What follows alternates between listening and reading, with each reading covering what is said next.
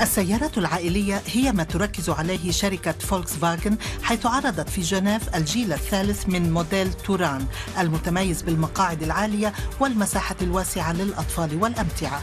فولكس فاجن دخلت متأخرة في هذا المجال لكنها باعت حتى الآن مليوني سيارة عائلية وتصدرت السوق.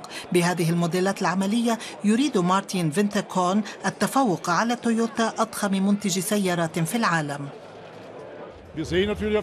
نحن نعرف طبعا أن هناك أزمات في العالم مثل أوكرانيا وروسيا حيث الوضع صعب. لكن هناك أيضا أمريكا الجنوبية والبرازيل وأيضا نرى فرصا جيدة في أوروبا والولايات المتحدة الأمريكية والصين. لذلك نتوقع نموا طفيفا لكنني لا أستطيع القول بعد إن كنا سنتفوق على تويوتا. حتى بي إم دبليو تريد كسب زبائن جدد عن طريق إنتاج سيارات عملية ولأول مرة في تاريخ الشركة أنتجت سيارة بسبعة مقاعد ودفع أمامي. لا نطمح للتوسع في كل المجالات لكن عندما ننظر إلى موديل جراند تور 2 كان هناك زبائن كثيرون قالوا إنهم يريدون سيارة عملية وديناميكية من بي إم دبليو ولكن ليس ليموزين رياضية.